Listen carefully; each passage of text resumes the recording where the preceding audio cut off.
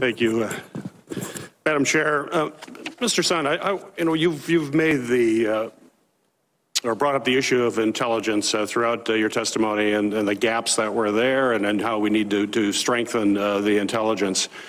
But I, I was struck by the fact that you said the FBI report, and my understanding is that that report had some fairly specific information that was troubling.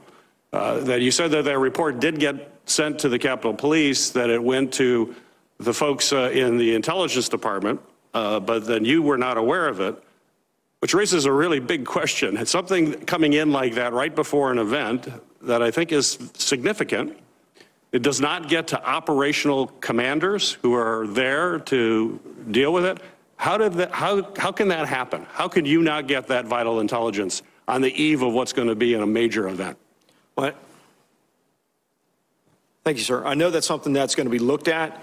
Uh, I think that information would have been helpful to be aware of. Again, you know, looking at the information for the first time yesterday, it is strictly raw data. It's raw intelligence information that has come in, seen on a social media post. Uh, lots of people postings on social media that need to be, you know, corroborated and uh, confirmed.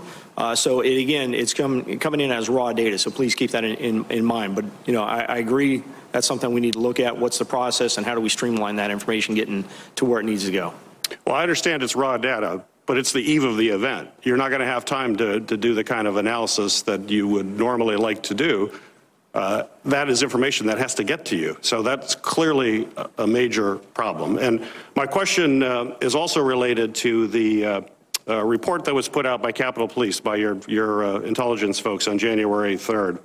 The Intelligence Division of the Capitol Police issued a re internal report which reportedly stated and this is, uh, some of this has been out in, in the public domain, uh, that uh, instead of targeting counter protesters, protesters, as you've seen in the prior events that occurred that you've referenced uh, earlier, uh, that quote, this is quote that has been out in the public domain, that Congress itself is the target on the 6th by Trump supporters. Congress was the target.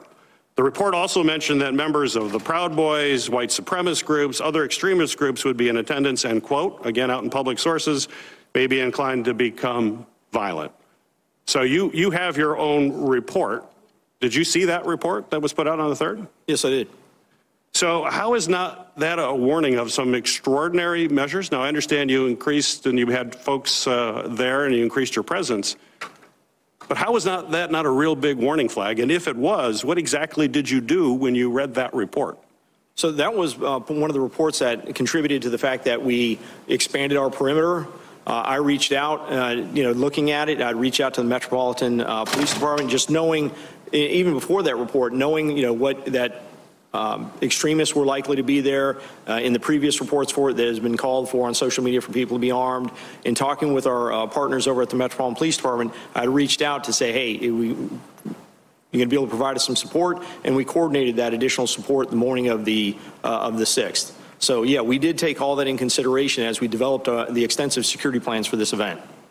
So you changed plans on January 3rd after getting that report?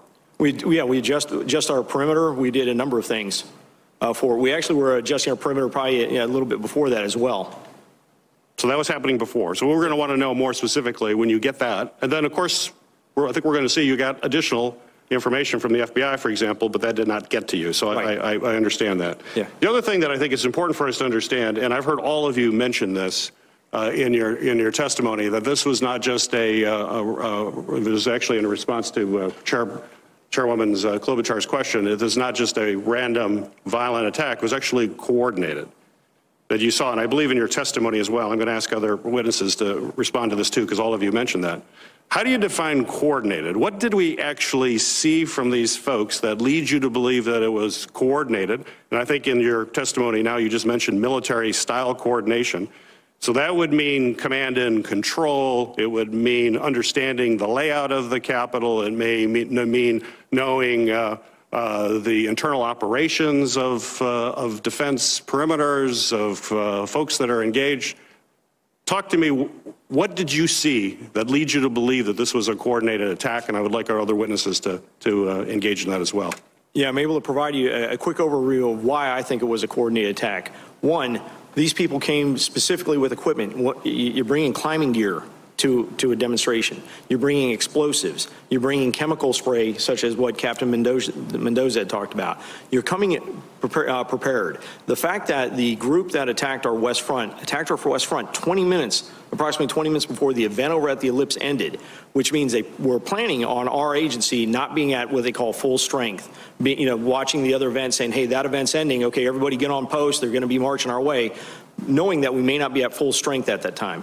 And then also the fact that we were dealing with two pipe bombs that were specifically, you know, set right off the edge of our uh, uh, perimeter to, what I suspect, draw resources away.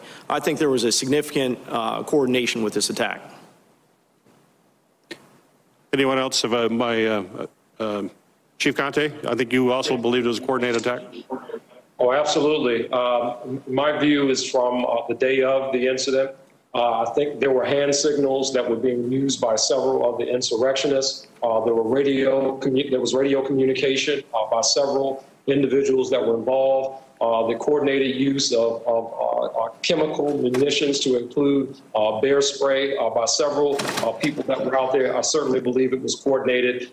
to Chief Sund's point regarding the placement of the pipe bombs in the areas, their discovery prior to this event, all of those things, and plus uh, adding to that, what we know in hindsight now, uh, as a result of the ongoing investigation that's being handled uh, by the FBI, uh, you know, as they continue to scrub uh, social media, I think we're learning more and more and more that this was clearly a coordinated effort. Real quick, uh, Mr. Irving, and then I'll, I'll ask another question real quick, Mr. Irving. Based on the information provided by Chief Contee and Chief Sund, I would agree the evidence would indicate a coordinated attack. So we're looking at uh, folks that were coming out in, in uh, intelligence reports that groups like the Oath Keepers, Proud Boys, others that were engaged, uh, these violent extremist groups, which we clearly need to get collect more intelligence on. It'll be the subject of another hearing that we will uh, do regarding uh, this. But if you look at what uh, the DOJ is now prosecuting, 200 federal cases uh, the FBI has linked at least 40 to extremist groups, 59 to other defendants that have connections on social media to violent or extremist rhetoric, conspiracy theories. Uh, uh, this is clearly an area that we've got to focus on as to why did we not have more information about these groups that were coming here planning, and usually you leave a trail when you're planning, either that or you're real sophisticated using encrypted devices and other things, but those are things that we're going to have to be looking at. Clearly, the National Guard presence was critical. I know you're going to get a lot of questions related to that, but Chief Contee, in my remaining time, just a question. Yeah, and you mentioned this in your testimony, but in an earlier statement, Chief, you stated that you were stunned by the by by quote the tepid response of the army officials in response to Chief Sund's request for assistance while the violent siege was was uh, escalating. Clearly, here we got a coordinated attack. All of you saw this immediately the way they were doing. I can imagine the conversations with the National Guard. And Chief, you were stunned by the tepid response. Could you clarify that and tell us exactly how those conversations went?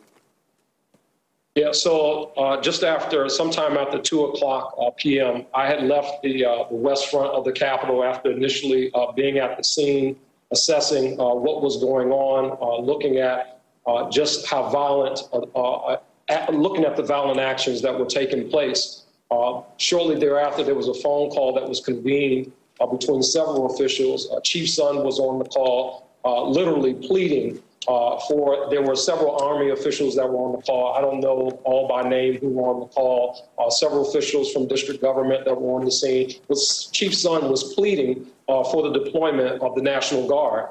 And in response to that, there was not an immediate yes uh, the National Guard is responding. Yes, the National Guard is on the way. Yes, the National Guard are being restaged from traffic posts uh, to respond. Uh, the response was more uh, asking about the plan. Uh, that you know, what was the plan for the National Guard? The response was more uh, focused on, in addition to the plan, the optics. You know, the, how this looks uh, with boots on the ground uh, on the on the Capitol. And in, in my response to that uh, was simply, I was just stunned uh, that, you know, I have officers that were out there literally fighting for their lives. And, you know, uh, we're, we're kind of going through, you know, what seemed like a, an exercise to really check the boxes uh, and it was not an immediate response. Uh, uh, with the, the, the, when I asked specifically, uh, Steve Sund, Chief Sund, was he requesting the resp- uh, National Guard, and was that request being denied? The response was no, uh, we're not, the, the, from the uh, U.S. Department of the Army was no, we're not uh, denying the request. Uh, but uh, the net, they were concerned, they did have concerns. So I was just, again, just stunned at that response. Thank you.